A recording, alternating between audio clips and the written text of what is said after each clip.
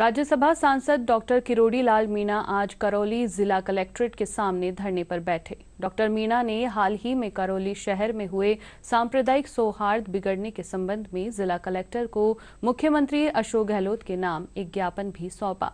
इसमें घटना के मुख्य आरोपी सहित अन्य उपद्रवियों को शीघ्र गिरफ़्तार करने की मांग की गई।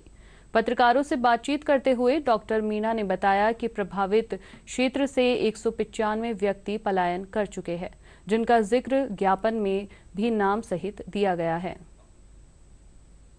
जिन्होंने बयान दिया था, किसी प्रकार का पलायन नहीं हुआ। तो सरकार के, को मैं बता देना चाहता हूँ, मुख्यमंत्री जी को, कलेक्टर के नाम हमने पत्र थमा दिया है, कैलाश जी ने।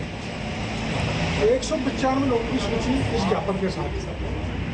एक सौ पचानवे लोग ये जो ढोली खार मोहल्ला है, जहाँ मुस्लिम बहुल इलाका है, वहाँ से छोड़ के चला गया। और सिर्फ़ ये पलायन करने का सिलसिला जारी है। सरकार तो मना कर रही है पलायन नहीं हुआ। मैं तो पलायन की बाकायदा एक सौ पचानवे की लिस्ट दी है, जिसमें जा नब्बे परसेंट जाता हूँ। कुम्हार है, कहार है प्रजापति, ऐसी जातों की लिस्ट है, मैं बाकायदा अपना हस्ताक्षर करके दे रहा हूँ, चुनौती के साथ कह रहा हूँ कि इतने लोग पलायन कर गए पलायन का सिलसिला जारी है, तीन लोग नाम और अभी आ रहे हैं जो बाड़ी के थे वो वहाँ आतंक फैला दुकान को लूट तो पलायन कर इसलिए ये बहका आतंक खत्म किया जाए। असली अपराधियों को जिसमें मतलूब अहमद भी है उसको गिरफ़्तार किया जाए, क्योंकि घरों में जा जाके लोगों को आतंक आतंकित किया गवाही दिया, बयान दिया, नाम बता दिया तो ये कर देंगे, वो कर देंगे। उन धमकियों के कारण लोग भयभीत है।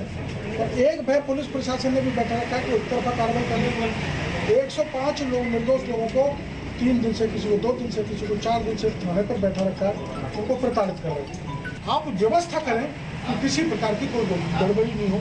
ये तो लोकतंत्र की हत्या है। इससे बड़ा तो कोई हो ही नहीं सकता धार्मिक आयोजनों पर प्रतिबंध लगाने जा रहे हो और हमारी भावनाओं को